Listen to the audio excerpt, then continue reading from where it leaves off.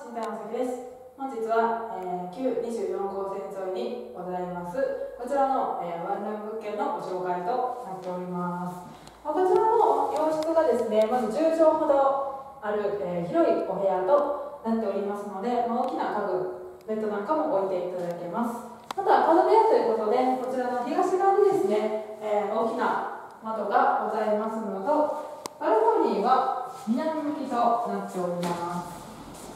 日当たりもね、え、良好で一日中ね日が入るような明るいお部屋となっております。バルコニー広さもねございますので洗濯物もしっかりと干していただけますね。そして収納の方もこちらですね大きく確保されておりまして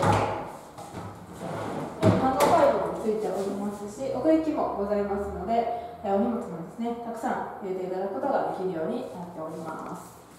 でこちら扉を開けていただきますと水回りのスペースとなっておりましてまずこちらがキッチンですね。真ん中に作業スペースもございますしガスコンロ一口ついております。で収納の方がこちらですね。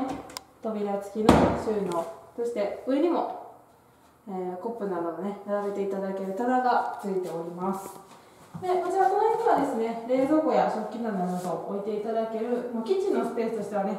かなりゆったりと取られております。そしてこちらがお手洗いですね。ウォシュレット付きとなっております。大変清潔感がありますね。でこちらが玄関のスペースなんですけどもなんとシューズボックスがですねこのようにあらかじめついておりますのでお一人様分の靴でしたらこちらで十分入れていただけますし玄関をね広く使っていただけるようになっております。そしてこちらが洗面スペースですね。なんと、えー、独立の洗面台がありましてこのようなシャンプードレッサーもついております。かなり、えー、ワイドなタイプですね。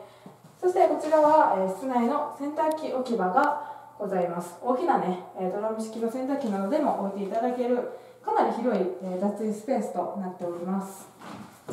で浴室がこちらですね。鏡もね大きなものがついておりますしシャンプーなど置いていただけるスペースもしっかりと確保されております、まあ、こんな感じでですねもう水回りが大変充実したお部屋となっておりますので学生さんや社会人の方にも大変おすすめの物件となっております詳しくは当社のホームページでご確認ください。奈良のもてなしのラボコロ、診断の先では、皆様のお部屋探しを全力でサポートいたします。以上でご紹介させていただきました。バイバイ